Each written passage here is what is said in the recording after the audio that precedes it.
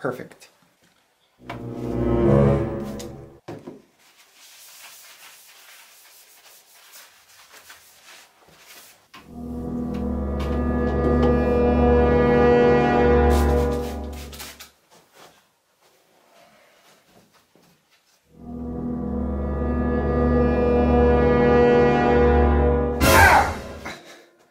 What the hell just bit me? Oh my god. Oh my god. Stay away from me. Oh god, please stay away. Shit, shit, shit, I gotta get out of here. Oh god. Get out of here. Yes! Take this, you fucking. Uh, wrong stuff. Yes! Take this, you fucking spider!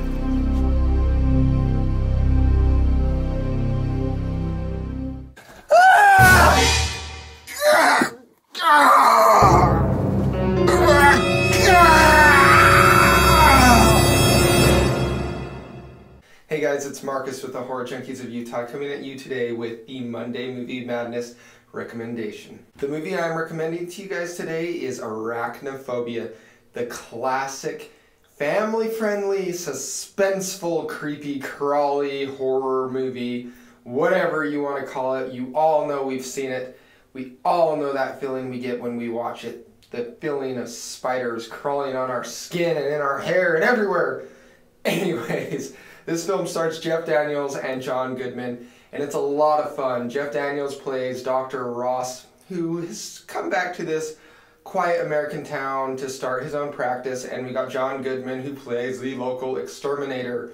And it follows the story of a spider.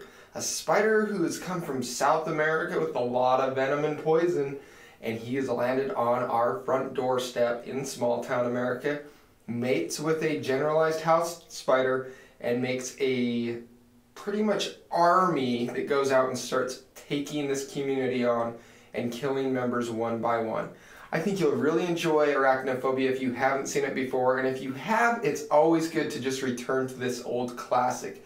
I myself have arachnophobia terribly bad, so this movie drives me up the wall after watching it. I'm literally looking under everything, checking my closet, my my sink, everywhere, everywhere. The bathroom is one of the scariest places for me because of this movie. And it's cool though if you don't have arachnophobia, it still gives you that little bit of crawly feel afterwards. I haven't met anyone that hasn't said that about this movie.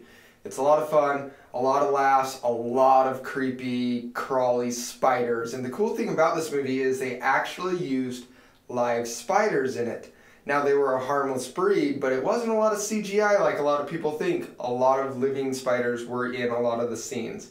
So, I am Marcus with Horror Junkies of Utah. I hope you enjoy Arachnophobia. Go ahead and watch it. If you haven't subscribed to our YouTube channel yet, go ahead and do that. Check us out on Instagram and Facebook. We're constantly posting new horror stuff on those two sites as well. Give us a thumbs up and comment below on what your creepy, let's say, insect movie is that you enjoyed growing up as a kid. And also, if you have any recommendations for Monday Movie Madnesses for us, go ahead and leave those below as well. Anyways, you guys have a wonderful, creepy, crawly night. I'll see you later.